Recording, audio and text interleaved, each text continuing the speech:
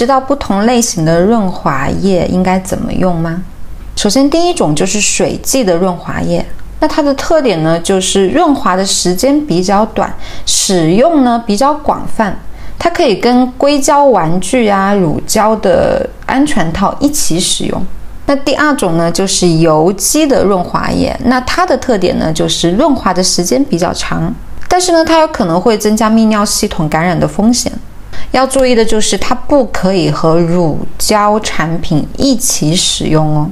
那第三种就是硅基的润滑油，它比大多数的润滑产品能够维持的润滑时间都要长，但是呢，它非常的难清洗。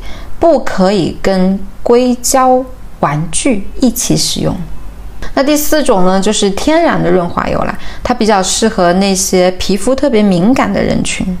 那当然，因为它是油嘛，所以它肯定是没有那些水溶性的润滑剂更好的清洗的。现在你知道应该怎么选择适合自己的润滑油了吗？科学弹性，关注我吧。